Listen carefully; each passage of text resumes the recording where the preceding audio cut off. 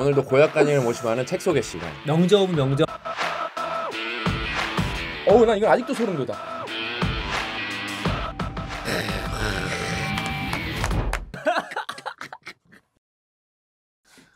오늘 여러분들께 소개해드릴 책은 사피엔스의 멸망입니다. 사피엔스의 멸망. 이, 이 책은 말 그대로 인류가 음. 어떻게 멸망할 것인가에 대한 얘기입니다. 되게 진지한 얘기고 음, 정말로 최근에 읽은 책 중에 그렇죠. 뭐 앞으로 평생 따져도 이건 우주론적 얘기이기 때문에 인류의- 진짜 아, 어 맞아. 예, 어. 우주론적 얘기이기 때문에 이거보다 더 큰 스케일 얘기가 있을까 싶을 정도고 인류로 시작해서 우주로 끝나. 예. 그다음에 정말 수준 높고 정말 깊습니다. 그래서 철학과 교수님이 써서 좀 어려워요. 실제로 좀 어려운데 되게 읽을만 하고 되게 수준이 높아요. 음. 그리고 좀 흥미로운 부분도 많고 음. 어 저는 좀 뭐라 그럴까 정말 수준 높은 교양서를 보고 싶다. 음. 이런 거는 제가 볼 때 대학교 교재로 채택해도 되거든요. 음. 사실 본인 교재를 할것 같은데. 예, 예. 옥스퍼드대 교수니까. 그 다음에 냉정하게 말해서는 이거는 조금 쉽게 써갖고 음. 뭐냐 그러니까 초중고 교육 과정에 저는 꼭 들어가야 된다고 어, 생각해. 왜냐면 어. 이, 이대로는 초중고는 절대 못 읽고 너무 높아. 아이들이 더 좋아할 것 같은데. 그러니까 어. 조금 쉽게 풀어갖고 쓰면은 요즘에 ESG ESG 하잖아요. 그거에 그렇지. 되게 상위 버전이고 음, 되게 깊은 버전이에요. 음. 진짜로. 인리적 관점을 갖고 있어. 네. 어. 그래서 제가 이렇게 목차를 조금 보면서 설명해드리면 더 쉬울 것 같은데 음. 말 그대로 제목은 사피엔스의 멸망이고 이제 1부가 이해관계고 그 이제 소챕터가 벼랑에선 인류 그다음에 2부가 이제 소챕터 두 번째가 존재 위험. 그래서 이제 큰 2부가 어, 위험인데 이제 그다음에 이제 여기 큰 2부에서 소챕터들이 이제 딱 들어보면 여러분이 아 이런 책이구나 하고 느낌이 오실 거예요. 우리를 망하게 하는 예. 존재 위험이 어떤 것들이 있는지. 그래서 이제 자연적 위험 그래서 소행성과 해- 소행성과 해성의 이렇게 충돌 지구와의 충돌을 우리가 어떻게 한 방에 멸망할 수 있는 거. 이거 무슨 SF 영화에 나왔던 얘기잖아요. 근데 그걸 진짜 확률론적으로 좀 따져봐요. 음. 그다음에 그 연구가 얼마나 돼 있나 그거에 대해서 그다음에 이제 슈퍼 화산 폭발 우리 맨날 뭐 옛날 폼페이 화산 폭발 이런 거 보면 막 이제 도시가 막 망하고 그러잖아요. 그것도 좀 가능성을 따져봐요. 지구 과거에 있었던 예. 일이니까. 음. 그다음 여러분 지금 휴화산들이 많아요 지금요. 예? 그다음에 항성 폭발, 그다음에 자연의 자연의 다른 위험, 그다음에 총자연적 위험. 그다음에 이거는 이제 진짜 자연에서 우리가 말 그대로 자연적 위험이고 음. 두 번째는 이제 인공적 위험. 우리가 만든 위험. 어. 그래서 핵무기, 기후 변화, 환경 파괴 이런 거에 대해서 되게 구체적으로 얘기해 봅니다. 그다음에 이제 다섯 번째가 어, 미래의 위험. 다섯 번째 소챕터가 전염병, 비정렬 인공지능, 디스토피아 시나리오, 다른 위험.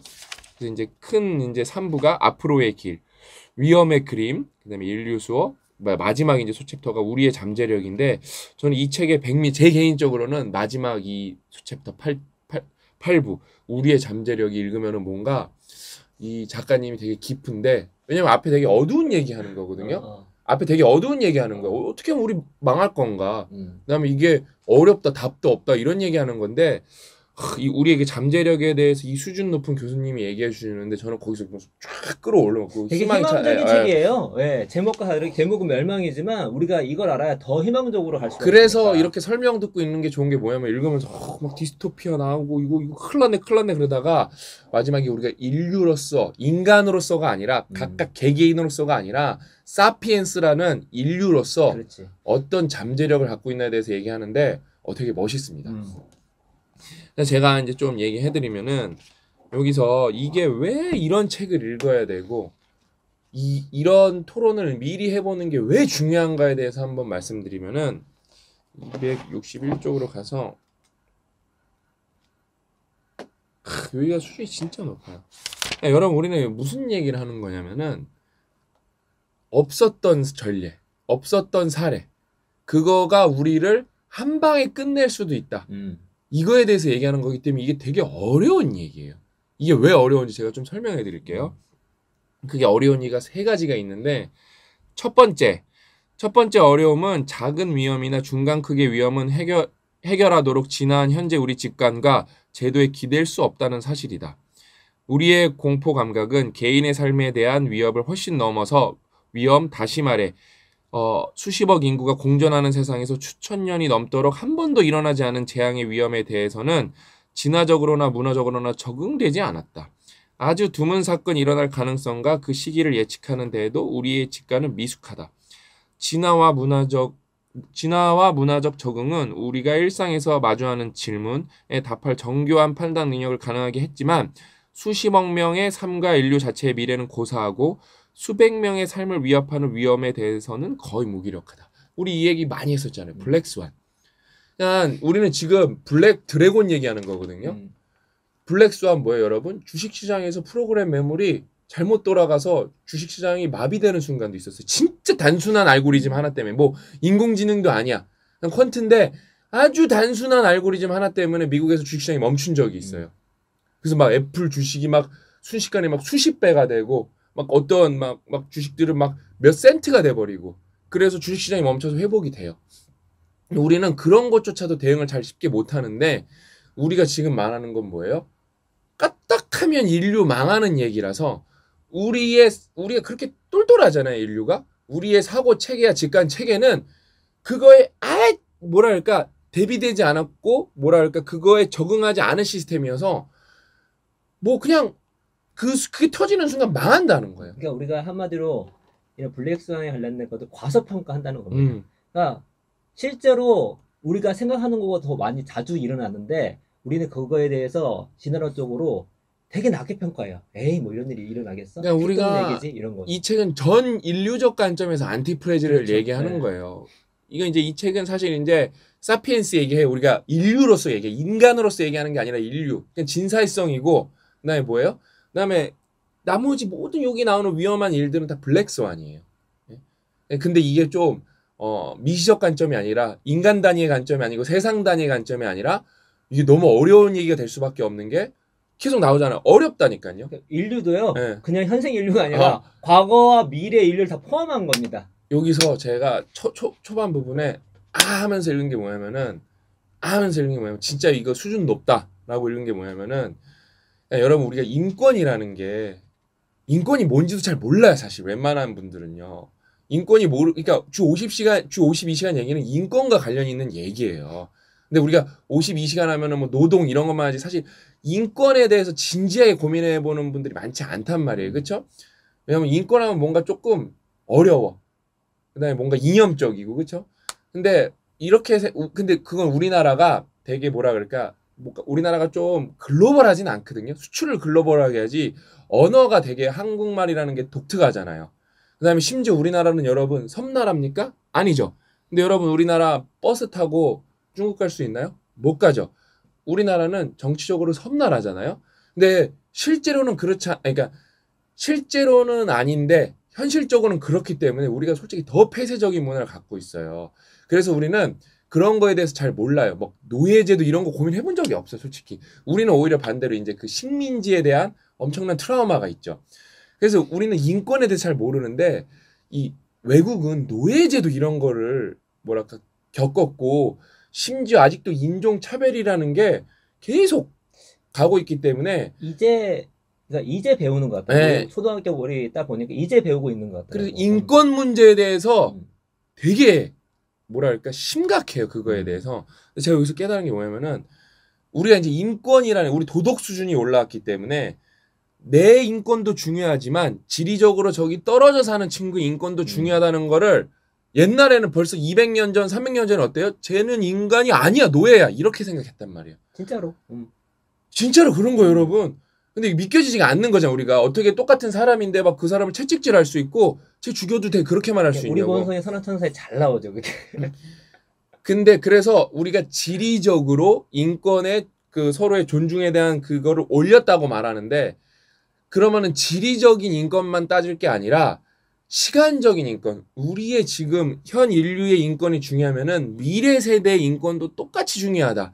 그래서 우리가 우리만 먹고 살 게 아니라 우리가 한 행동에 미래 세대의 영향을 받기 때문에 우리가 지- 그렇게 지리적인 인류 인권의 어떤 차이를 극복한 것처럼 시간적인 인권의 차이도 극복해야 된다는 말하는데 수준이 겁나 높아요. 이거 한번 읽어드릴게요. 이거 여기 이 책, 책에는 음. 헌사가 있습니다. 헌사 중에 이, 정- 이 정도 스케일 없는 것 같아요.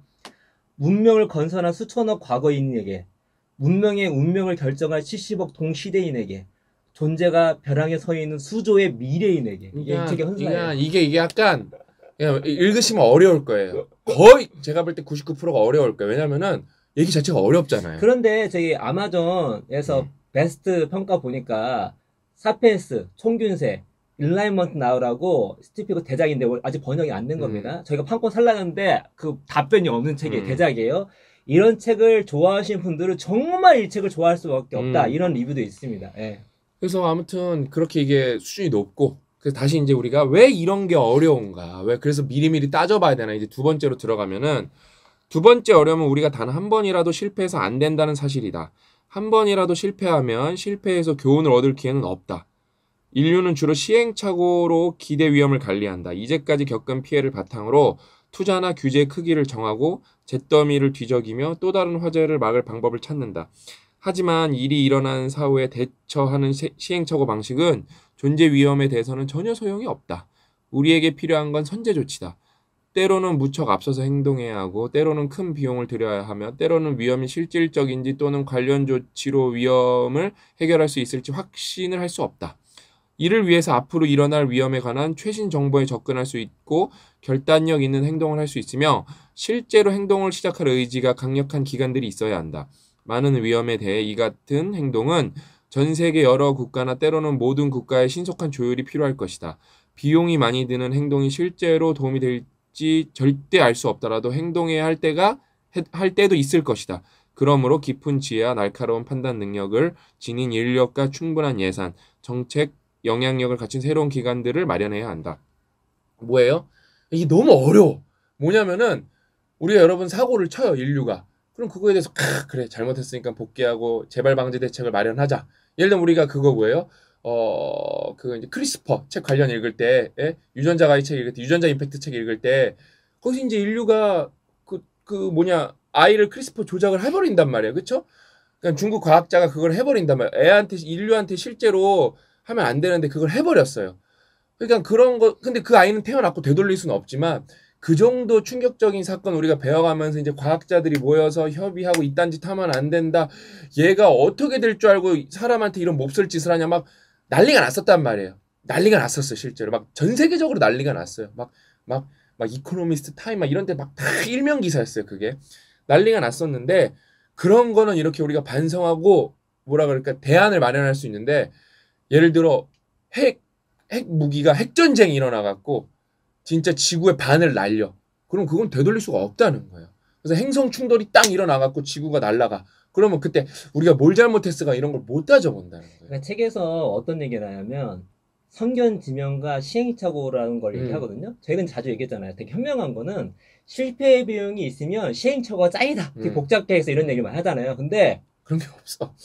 인구가 멸망하는 거는요. 실패 비용이 있을 수가 없잖아. 무한해, 무한해. 그래서 따질 수가 없어. 이런 맥락에서는 시행착오보다 성견 지명이 중요하다는 것입니다. 그러니까 제가 여러분들한테 맨날 무슨 얘기를 하냐면 공돌이다 보니까 이럴 때 사고 실험을 해보자고. 음. 확률이 극히 작다고 생각하고 뭐 극히 무한하다고 생각할 때 이게 뭐냐면 아 고약관님 잘못했어. 수학적으로 뭐 우리가 실패의 비용을 따져보자 그랬을 때 실패의 비용이 무한한 거예요. 무한한 거. 그럴 땐 뭘 따져볼 수 있는? 뭘 따질 게 없다는 거예요. 그 말이 성립이 안 돼. 실패의 비용을 따져봅시다. 이 자체가 성립이 안 돼.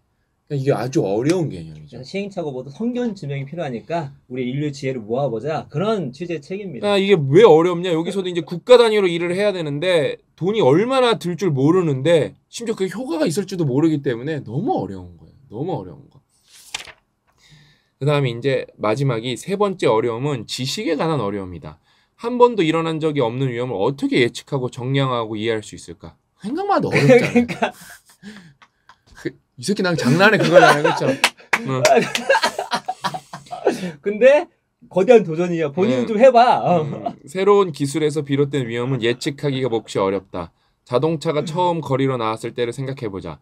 처음에 우리는 얼마나 위험할지 전혀 알 수 없었고 차가 도로에 출현한 뒤 수백만 킬로미터를 달린 지금에야 통계적 주기를 바탕으로 위험을 쉽게 가늠할 수 있게 되었다.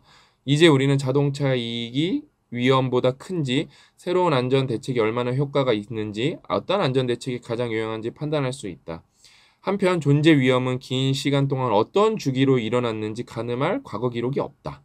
과거 기록이 없으니까 힘든 거예요. 음. 그러므로 관련 위험에 대해 신뢰할 수 있는 확률 없이 중대한 결정을 내려야 한다. 이는 존재 위험에 관한 결정을 내리는데 필요한 확률 추정치를 어떻게 마련할지에 대해 무척 큰 어려움을 야기한다. 어, 이 문제는 이미 기후변화 연구와 관련 정책 결정을 어렵게 하고 있다. 더군다나 기후변화 정치화, 기후변화를 정치하려는 시도는 사람들이 가뜩이나 모호한 증거를 해석하는데 직간접적인 선입견을 일으킨다. 이게 딱 지금 기후 변화는 여기서 되게 쩌리 레벨이에요. 그렇지. 쩌리 레벨인데도 벌써 어렵잖아요. 그냥 벌써 마- 여러분도 기후 변화하면 여기서 되게 여기서 포함되는 쩌리 레벨이거든요. 지금 여러분 지구가 장난 아니에요. 이거 온도 조금 올라갔다고 지금 뭐 몇십 년 전 비 평균 온도가 올라간 게 팩트거든요. 음. 지금 그러니까 우리나라는 그- 우리나라도 더 죽겠는데 미국 같은 데는 막 50도 막 이런 게 많아갖고 무슨 일이 났냐면은 50도면 여러분 수온도 올라가요. 그래서 수온이 올라가서 물이 끓어버려 갖고 연어들이 막 다 그냥 물에서 얼어 아니 이거 뭐지? 이거 이거 익어버리더라고. 죽어. 죽어가고 어, 있어요. 어, 어. 그러니까 이런 게 전례가 잘 없었어요. 그냥 이거 이- 근데 벌써 아뭐 지구 온난화 여러분 솔직히 얼마나 관심 있으세요? 사실 거의 없다고 보면 돼. 음. 100명 중 99명도 없을 거예요. 없을 거예요. 그러니까 요- 그 네. 신학생 잘 말씀하신 게 이걸 좀 일찍부터 하면 아이들이 그냥 자기도 모르게 인류적 관점으로 이걸 생각할 수 있, 거든요 그러면은 지금 현재 문제, 특히 이 인류가 현재가 아니라 미래 세대까지 포함해서 그런 관점을 일찍부터 갖고 있는 거야. 음. 그러면 그런 것들이 이런 아이들이 나중에 리더가 되면은 그 리더들이 여러 가지 우리 미래를 위해서 의사결정을 내릴 수가 있겠지. 그냥 이런 관점에서 잠깐 삼천포로 빠져보면은 그 앨런 머스크가 얼마나 헛소리를 했던 거냐. 고약님 저랑 방송에서 말했잖아요. 여러분 앨런 머스크가 화성에 가는 명분이 뭔지 아세요? 그잘 모른다니까요. 앨런 머스크가 나름 거기까지 되게 멋있는 사람이었어요. 음. 그 명분이 맞았기 때문에. 앨런 머스크는 지구가 이, 이, 이 책이랑 똑같은 관점으로 접근한 거예요. 그러니까 이 책에서 나온 해결책을 제시하려는 사람이었어요. 맨 음. 처음에는. 왜? 지구가 한계를 맞이했다는 거예요, 우리 인류가. 그래서 다른 데 개척 안 하면 우리가 끝난다는 거예요. 그 대표적인 게 지구 온난화라 그랬어요. 지구 온난화라 그랬어요. 그래서 그러면 화성에 가는 게 시간이 걸리니까 그 전에 해야 되는 게 뭐냐? 전기차로 온난화를 감소시켜야 된다. 이게 일론 머스크의 핵심 철학이었어요. 그리고 뭐 태양열과 로켓 쏘는 거 다 합치면 태양 갈 거니까. 예, 근데 아, 화성 갈 어, 거니까. 거, 그러면서 그 그러면은 그 배터리는 뭐로 충전시켜 주냐? solar cell로 해야 된다. 어. 그래서 이게 다 tech tree가 맞았어. 음. 근데 거기서 갑자기 뜬금포로 무슨 소리야? 비트코인 최고다라고 한 거예요. 여러분 비트코인이 전력 먹는 양이 어. 상상을 초월한다니까요. 우리가 그래서 앨런 머스크가 번복하기 전에 이거는 본인이 주장한 거랑 맞지 않는다고 우리가 이걸 얘기한 거 이런 우주적 관점 이 진짜 글로벌적 관점에서 인류적 관점에서. 예, 인류적 관점에서 그러니까 어, 아니나 다를 거 어때요? 그 번복했잖아요. 우리가 방송한 다음에 번복했잖아요. 생각해 보니까 자기랑 좀 안 맞는 것 같아서 비트코인 별론 것 같다고. 어. 놀라운 사실은 음. 뭐 테슬라 이런 애 실적 surprise 네. 나왔거든요. 음. 비트코인은 손실 입었더라고. 그러니까 아, 뭐 다른 보통 벌을 수 네. 있겠지만 회사 차원에서는 손실 좀 입었더라고. 그러니까 딱 그건 거예요. 그러니까 이게 이런 철학적 얘기를 알아야 여러분 그 사람이 진짜 그 의도가 맞는지 안 맞는지 따져볼 수 있단 말이에요. 근데 저는 일론 머스크 좋아했던 이유가 어, 이 자식 스케일이 미쳤네 그거였어요. 음. 근데 그러면은 그런 그게 사- 달성 여부를 떠나서 음. 멋진 주장이었는데 틀린 주장이 아니었고 생뚱맞게 다른 실천을 해서 비트코인이 인류한테 무슨 도움이 될 거다 모순이잖아 자기 주장이랑요 아니면 다른 기술을 지가 개발을 하던가 그래야죠 그래서 진짜로 실제로 자기가 전력 소모가 적은 거 개발하겠다라 그랬어요 아, 좀 삼천포긴 한데 그 얘기, 그 얘기 잘 원래 이 얘기 안 하려다가 맞아요. 지금 지금 뭐냐면 우리가 어떤 얘기를 할 때는 되게 중요한 게 이 사람이 어떻게 행동하냐가 중요한 거잖아. 음. 이분이 이 책에 보면은 인류애가 음. 어마어마합니다. 어마어마해 예. 근데 실제로 그렇게 인류애적인 삶을 살고 계세요. 책을 읽는데 아니 옥스퍼드 대학 철학과 교수에다가 효율적 이타주의 이런 얘기 나와가지고 이- 이분 저자 소개해서 어디서 많이 본 것 같은데 봤더니 저희가 자주 추천드리는 책 중에 냉정한 이타주의라는 책이 있어요. 그 책 저자가 저 윌리엄 메거스킬 이분인데 이분이 이 책 저작은 오, 오, 그 옥스퍼드 옥스퍼드 대학교 철학과 교수, 교수. 이 네. 냉정한 이타주 쓴 부교수. 사람은 부교수예요. 이 두 사람이 만든 게 기빙 왓 위켄이라고 어. 해가지고 저- 본인의 소득의 10% 기부를 하고요. 또 선한 일을 효율적으로 해보자 해서 같이 일을 하고 있더라고. 음. 그러니까 이분은 삶 자체가 인류 외적인 삶을 살고 계세요. 그런데 단순히 사랑해 그게 아니라 가장 정말로 효율적으로 정말로 냉정 냉정하게 그렇게 우리가 좋은 일을 하더라도 또 인류가 잘 살, 살더라도 그런 관점으로 보자라는 것이 또 그런 관점도 이 책에 잘 나와 있습니다. 음. 예. 그래서 여러분 제가 하나 이게 느낌이 오게 하나 사례를 여기 사례가 많이 나오거든요. 하나 좀 느낌이 오시게 소- 사례를 하나 소개해드리면은 이제 그 오펜하이머가 핵폭탄을 개발을 했단 말이에요 물리학자가. 그러면 이제 그게 어마 무, 여러분 그 나중에 영상 같은 거 찾아서 보세요. 진짜 핵폭탄 터지면 얼마나 무섭나 한번 보세요 그거요. 그거 막 진짜 이렇게 막. 막 이게 멀리서 봐도 이렇게 막 해서 이렇게 쫙 올라오잖아요 그 성강이 진짜 얼마나 그 실험하는 것만 해도 무서운데 그 터지면 얼마나 무섭겠어요. 어? 근데 그때 그러면은 그거를 그 본인들도 그런 걸 만들고 있는데 그 당시 이제 최고로 똑똑한 물리학자들이 이제 미국에 모여서 만드는 거란 말이에요. 뭐가 있었냐면은 그와 같은 폭탄을 설계하던 텔러는 원자 폭탄이 연료 안에서 융합 반응을 일으킨다면 주변 세계도 융합 반응을 일으킬 수 있다는 사실을 깨달았다. 폭탄이 물속에서 수소를 연소시키면 융합 반응이 저절로 계속 이어져 대양을 모두 없앨 수 있다. 아니면 공기의 70%를 차지하는 질소 속에서 반응이 일어나면 대기를 연소시켜 지구를 화염에 휩싸이게 할 수도 있다. 그렇다면 인류뿐만 아니라 지구상의 모든 다섯포 생명체가 파괴될 것이다. 이- 근데 이게 이때 이 계산은 틀렸다고는 나중에 나와요. 근데 그게 잘못된 거예요. 일단은 이거를 핵폭탄을 만들어서 사용하기 전에 시뮬레이션을 뭐냐면은 이게 핵폭탄이 되게 파괴력이 있어도 이게 그래도 국지적이잖아 이게요. 그래서 우리가 이런 거를 설계하려고 만들었는데 당시에 가장 똑똑한 물리학자들이 모여갖고 그 계산을 했는데 이거는 뭐 공기 연소도 일어나고 뭐, 뭐 물속에서도 반응 일어나면은 뭐, 대, 뭐 물도 다 지- 없어질 수 있고 대기도 다 없어질 수 있다 다 여- 연소돼 버릴 수 있다 다 죽는 거지 뭐 그러면. 싹 다 죽을 수 있다. 그래서 막 막 막 물리학자들끼리 막 감론을박을 해요.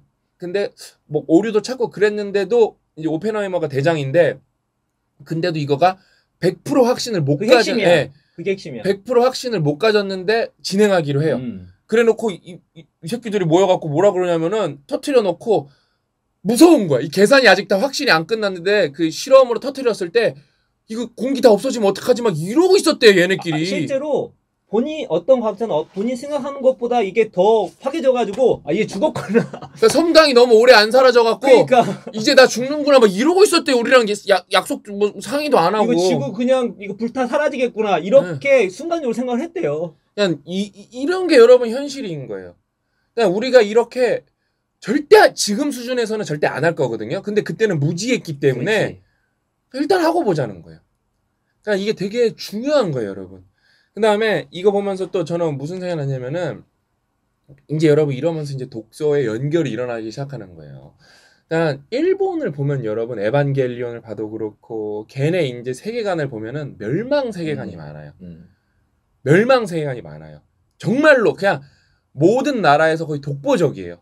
그러면서 거기서 재밌는 거막 되게 충격적인 시나리오들이 많이 나왔고 그게 왜 그래요? 제가 미야자키 월드 읽고 깨달은 거잖아요. 얘네는 핵폭탄을 맞아봤기 때문에 준 멸망을 경험해봤어요. 그렇지.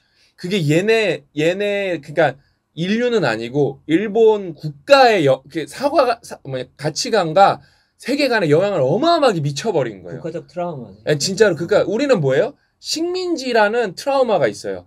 그래서 우리는 가위가위보도 일본한테 지면 안 돼요.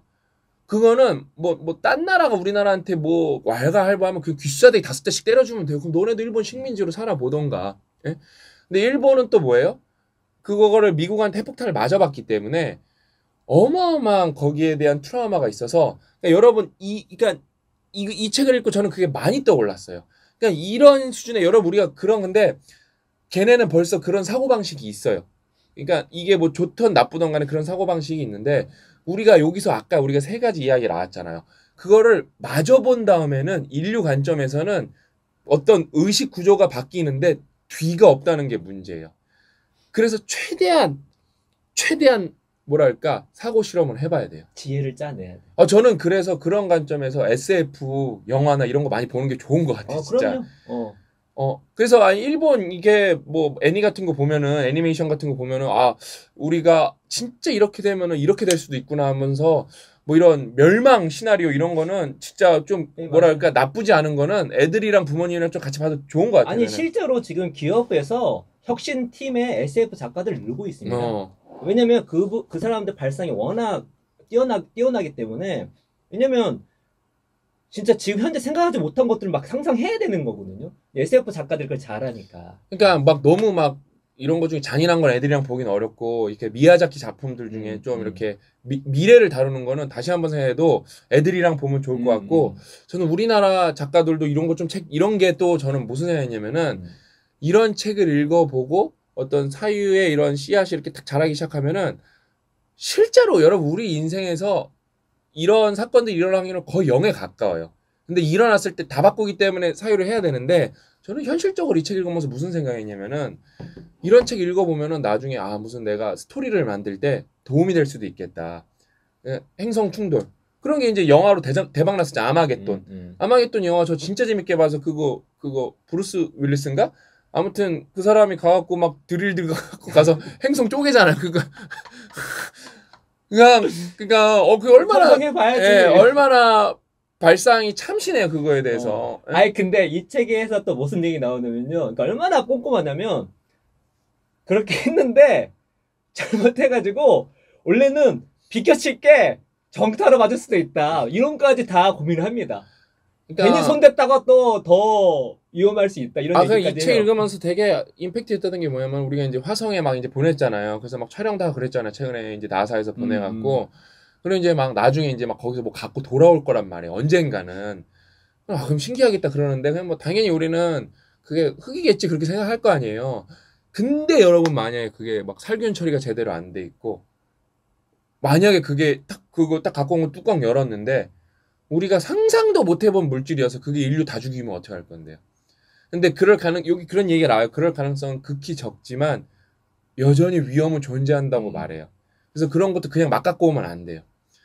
그냥 이런 거 읽어보면서 이게 하나의 스토리텔링의 소스가 될 수 있지 않을까 저는 그런 생각도 한 음. 거예요.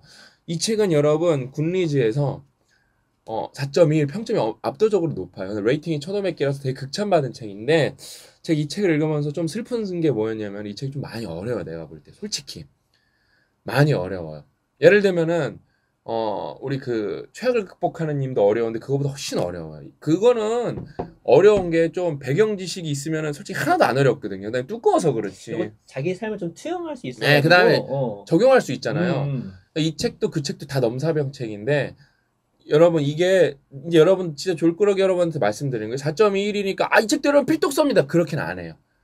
왜냐면 이책 일단 너무 어렵고 이거는 좀 정말 관심 있는 분들한테 강력 추천을 해요. 강력 뭐 추천. 말씀도 사이펜스, 네. 청균세 좀 재밌게 읽었다. 네. 아, 막 힘들게 읽은 게 아니라 좀 재밌게 읽었다 하신 분 같은 경우는 예. 딱 그냥 왜냐면은 제가 보편적인 여러분의 이제 독서량을 알아가고 있잖아요.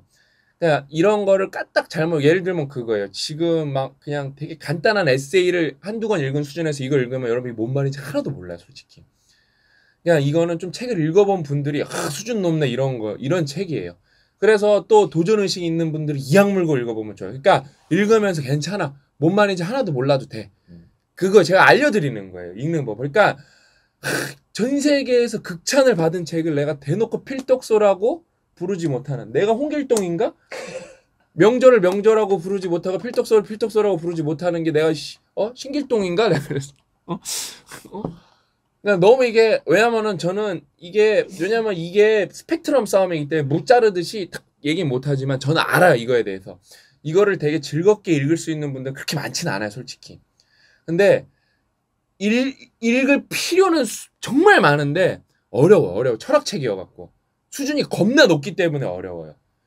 그러니까 근데 최악을 극복하는 힘은 어려워도 여러분 중에 심지어 그동안 독서 안 했어도 좀 이렇게 잘 따라오신 분들 예를 들면 뭐 마음 챙김 한 번 읽었고 뭐 이런 좀 건강책 한두 권 우리랑 왜냐면 되게 읽을만 했던 책 필독서만 다 읽은 분들도 필독서 한 일곱 여덟 권 읽은, 읽은 분들 그거 읽는데 무리가 없었을 거예요 그리고 예. 플러스 알파 드리면 제가 말씀하신 게 이 책은 우리가 지금까지 읽었던 책하고 연관성이 좀 떨어지긴 해요. 아 그래서 배경 지식도 없 퓨블리케이션하고 조금 더 동떨어진 책이긴 그러니까 해. 저랑 고약가님은 되게 훌륭하죠. 왜냐면 저랑 제 저는 뭐냐면은 저랑 고약 제가 고약가님한테 무슨 얘기를 했었냐면은 인류의 이런 증가 속도를 보면은 그 인구수 증가 속도를 보면은 어. 전형적으로 유기체가 성숙 구조에 들어가서 망하는 구조예요. 그 얘기를 듣고 제가 정말 그래 하고 응. 찾아봤어요 응. 책을. 그랬더니 멸종책이 좋은 게 하나 있더라고. 어. 그래서 야 그거 맞나 한번 살펴보자 하고 네. 같이 본 거야. 근데 대멸종 연대인데 근데 그게 얼추 맞는 게 뭐냐면은 대멸종은 다 자연적 위험 여기서 나온 걸로 망한 건데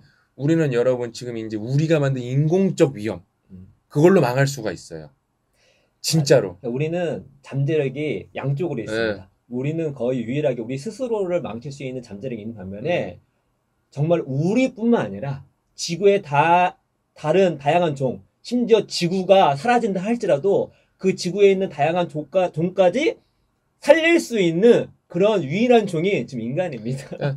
여러분 대멸종 연대에도 책을 보면 겁나 지루해요. 그냥 계속 죽은 얘기밖에 안 나와요. 그냥 온도가 뜨거워져서 죽었다 죽었다. 지겨움의 예, 극치이지. 진짜 진짜 거짓말 안 하고 겁나 지겨워요. 그리고 그쪽에 관심이 없으면 그 용어가 생소한 게 너무 많이 나와요. 왜냐면 뭐 인간 얘기도 하는 것도 아니고 지금 생물 얘기하는 것도 옛날 아니고 생물 막뭐 5만 가지 다 옛날에 나옵니다. 공룡 전 생물 얘기해갖고 어. 되게 작은 단위의 생물을 얘기해서 뭔 말인지 들어본 적 그냥 그냥 그렇게 해서 한 대여섯 번 되게 멸망했구나 멸종했구나 그래서 인류도 멸종할 수도 있구나 그거예요. 그리고 뭐 지질학적, 기후학적 그 네. 전문적인 용어가 많이 들어가 있지. 근데 저랑 고약가님 어때요? 그 책 솔직히 재미 없거든요. 근데도 아 이런 책은 한번 읽어봐야 된다. 왜 우리가 멸종을 논하려면 근거를 갖고 논해야 될 거 아니냐. 그래서 그 우리한테 솔직히 막 당장 우리 뭐 마케팅에 도움이 되는 것도 아닌데 교양을 올리기 위해서 꾸역꾸역. 예, 음. 꾸역꾸역 읽기 시작해서 그래도 아 우리가 대멸종이 이렇게 몇 번 있었구나. 아 그냥 네. 우리가 네. 이책 읽으면서 야 우리가 이 책 읽으면서 지구적 관점을 갖는구나. 어, 어. 여러분 이건 우주적 관, 인류적 관점, 우주적 관점이에요. 맞네. 우리 그때 그 얘기 그 책 읽고 서로 토론하면서 뭐 핵심 내용은 별로 토론도 안 하고 고약간이 그랬어. 야 이 책 읽으면 그래도 지구적 관점을 가질 수 있다고. 그러니까. 왜냐면 그게 되게 우리한테 필요한 거거든요. 고약 그냥 왜냐면은 지구적 관점을 가졌다 그래서 당장 내가 치킨 사 먹을 능력은 생기지 않는데 그게 저희가 갖고 있는 음. 수많은 아이디어가 나중에 무의식적으로 그렇지. 결합을 하는 거거든요. 그렇지. 아까 그 일본 얘기가 딱, 딱 일본이라는 역사적 사례가 맞는 거야. 그래서, 그래서 미야자키 월드도 음. 저는 그거 읽으면서, 아, 그래, 이거 책이 좀 수준이 높구나. 왜냐면 작품평이니까 그 다 안 본 사람은 또 어렵고 음. 되게 평론이 높은 수준인 거예요. 근데 또쫙 읽는 게 뭐냐면은 어때요? 그런 걸 읽으면서 또 하나 건지는 거야. 근데 결국 이거 이제 졸꾸러기 분들이시니까 결국 우리가 함께 만들어갈 커뮤니티는 우리 혼자 잘 살자고 만든 커뮤니티 음. 아니잖아요. 우리가 앞으로 어떻게 우리 일, 우리 공동체, 우리나라, 더 나아서 우리 인류가 얼마나 잘 살 잘 살기 위해서 우리가 고민을 해야 되잖아요. 우리 그런 커- 커뮤니티를 만들 텐데 공부가 안 되는데 무슨 그거를 뭐 말로만 하, 무슨 말로만 하고 어떻게 그걸 만들고 어떻게 실천을 해? 예를 들면 저는 그런 생각을 한 거예요. 브라질에서 아마존 막 밀잖아요. 그 업- 기업 아마존 말고 진짜 숲 아마존. 음. 그거 여러분 인류한테 안 좋잖아요. 그렇죠? 근데 거기 자국의 이익이 있으니까 걔네도 미는 걸 거 아니에요. 그렇죠? 그러면 우리가 거기 할 수 있는 게 사실 없을까요? 옛날에는 없었어요. 근데 제가 만약에 진짜 돈이 많으면은 어떤 정말 좋은 컨텐츠를 만들어서 전 세계 광고를 100억을 뿌려버릴 거예요. 그래서 모든 사람들이 이거 지- 뭐 이미 그런 식으로 다큐가 많이 나기 때문에 다 여러분 그거 밀면은 남의 나라 얘기지만 지탄을 하는 거야 그거에 대해서 그게 인류는 그렇게 행동을 해요. 근데 저는 이제 이런 책을 읽으면서 나도 그런 거에 뭔가 내가 만약에 여유가 있으면 왜 여기 그게 나와요. 왜 이런 게 어렵냐면은 비용을 어마어마하게 드는데 이게 당장 이게 자기한테만 나쁜 게 아니고 글로벌적으로 나쁜 건데 내가 돈 다 내봤자 자기는 거기서 얻는 이익이 20분의 1밖에 안 되니까 이돈 내는 게 무슨 의미인가 이런 다 거에서 예. 어. 그래서 다른 나라들이 강대국이 해주길 이렇게 기다리기만 있어요. 거기 이익에 편승하려고.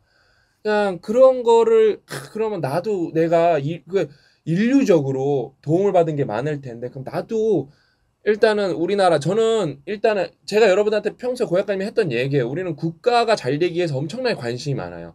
이제 그거를 어느 정도 했다면은 하면서 양심이 있으면은 인류에도 뭔가 좀 보탬이 되는 일 하고 죽어야 될 거 아니에요. 솔직히. 솔직히 동시에 해야 돼요. 네. 어. 근데 저는 좀 이기적이기 때문에 대한민국이 잘 되는 일부터 고약가님이랑 차근차근 해나갈 거예요. 원래 솔직히 동시에 하는 게 맞거든요. 그거는 근데 내 양심을 가- 그 한, 한쪽 눈을 가릴 거예요. 그거는 어쩔 수가 없어요. 저랑 고약가님 어저께 저 요즘에 이- 인구 관련 뭐 구조에 대해서 많이 읽고 있는데 아, 그러려면 씨, 뭘 해야 되나 교육에 돈을 이만큼 투자해 그런 얘기 하고 있다고요. 어?